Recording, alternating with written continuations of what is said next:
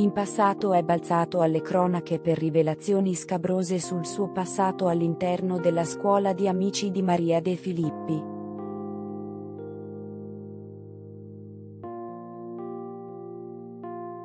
Il giovane, omosessuale dichiarato, era stato cacciato dalla produzione per aver confessato di aver avuto dei rapporti sessuali nei camerini della scuola.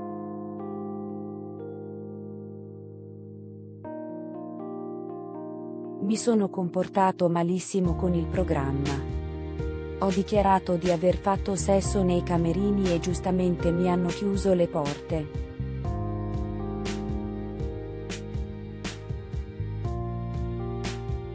Lasciai tutto alla 4 edizione, aveva detto Valerio Pino, ex ballerino professionista del programma, e mi richiamarono alla 6 edizione.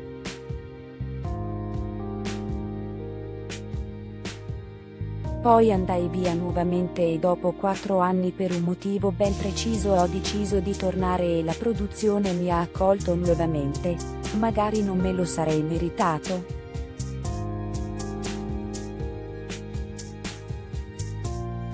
Poi ho continuato a comportarmi male. Non sono compatibile con la trasmissione dopo essersi trasferito a Madrid, aver sbandierato a mezzo stampa un suo flirt con Ricky Martin e dopo essersi fidanzato con un ragazzo venezuelano assieme al quale postava in rete filmati e foto molto piccanti, Valerio è tornato a far parlare di sé. Punto ospite di Manila Goria ad Antenna Sud da Manila Gorio, l'ex ballerino di Amici ha confessato di aver avuto una storia con un onorevole del Partito Democratico.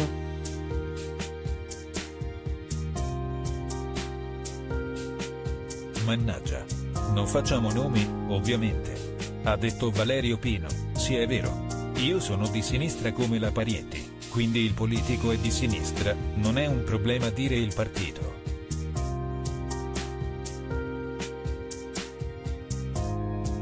È un onorevole del Partito Democratico. È una cosa successa appunto due anni fa.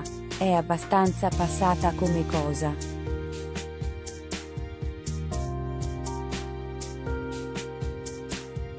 Ora è scattato il Totonomi. Chi sarà l'onorevole con cui ha avuto una storia? Qualche settimana fa Valerio Pino aveva rilasciato un'intervista a Gossip.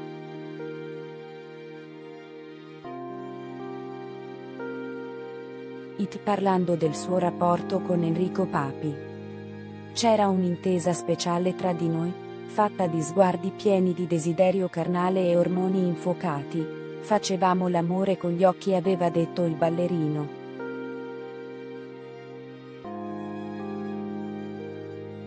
Per sei mesi ci vedevamo quasi tutti i giorni. È mancato poco che finissi nel suo camerino, sarebbe successo il delirio.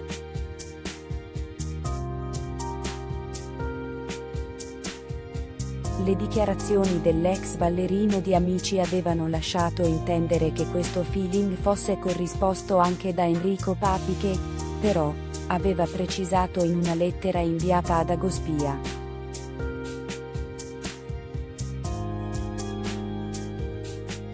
Premesso che sono lusingato di quanto ha detto Valerio sono allo stesso tempo molto arrabbiato perché poteva dirmelo prima.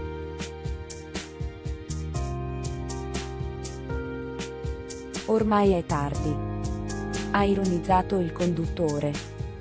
Scherzi a parte vorrei brevemente provare a spiegare, utilizzando la mia passione per la musica, cosa penso riguardo ad un tema più ampio e perché questa intervista non mi reca alcun disagio.